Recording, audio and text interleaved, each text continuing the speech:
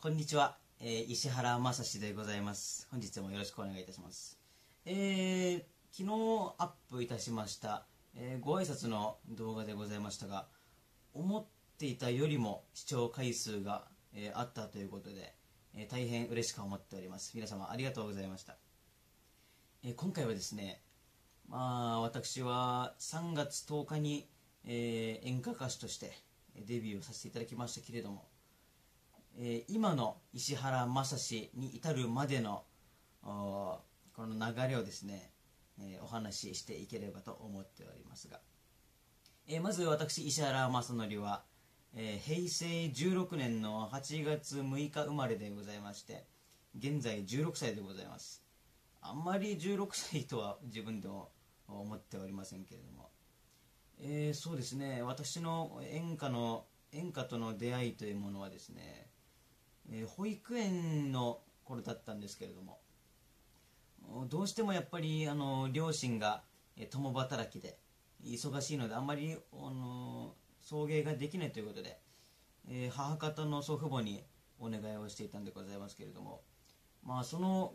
車の中でたまたま流れていたのが、え演歌だったというわけで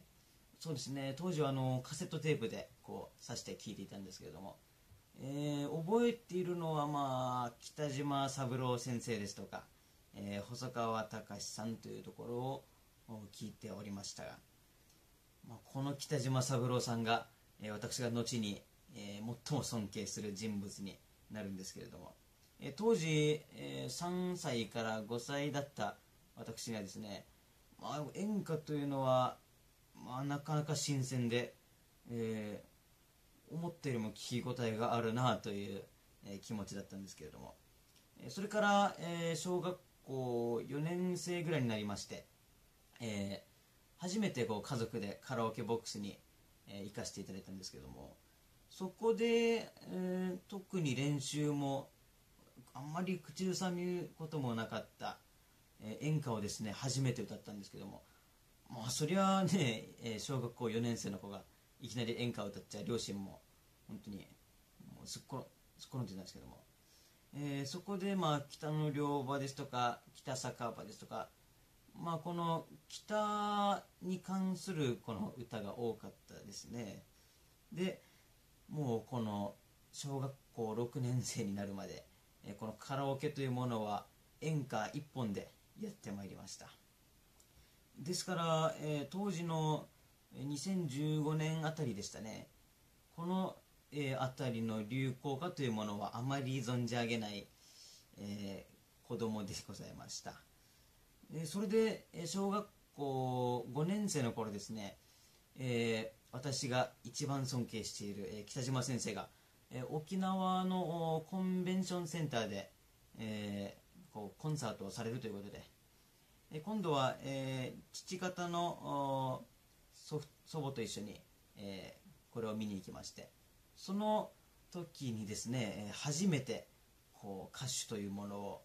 えー、見まして本当にこう胸にぐっと感動したのを覚えております。でその帰り際に買ったのがですねこちらの北島先生ちょっと反対になっちゃいますね。北島先生の、えー、最終公演「心の歌」という、えー、これはアルバムですね。まあこういったちょっと反対ではありますが曲が書かれておりまして。そそうですね。まあお気に入りだったのが、まあ、函館の人ですとか、まあ、帰ろうかなといった往年の一句でございますけどこういったものを聞いておりました。で、えー、小学校6年生に上がりましてですねあの父親の知り合いの方にちょっと正則君このカラオケ、まあ、バーではないですね。カラオケパブといった方がよろしゅうございますけれども。ちょっとこう、えー、舞台で歌えるところがあるのでちょっと出てみないかということで、えー、出させていただきまして、えー、当時歌った歌がですねはっきり覚えておりますが、え北島先生の「函館の人」を、え歌わせていただきました。まあ本当に人生で初めてのステージで人前で歌うことだったので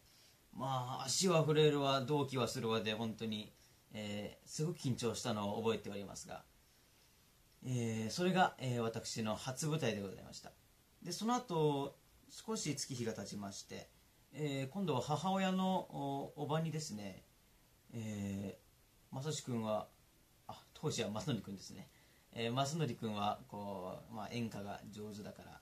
こうちょっと先生に、えー、歌を習ってみたらどうだということで、え、言われまして。まあこれまではこう演歌というものはこう趣味というか、え、まあ遊び半分という感じで歌っていましたので、うん、レッスンを受けるというのは、うん、どうなんだろう先生は怖いんだろうかとちょっと思っておりましたが、まあ、やってみることにいたしまして、え、それから本格的な、え、歌のレッスンになりまして、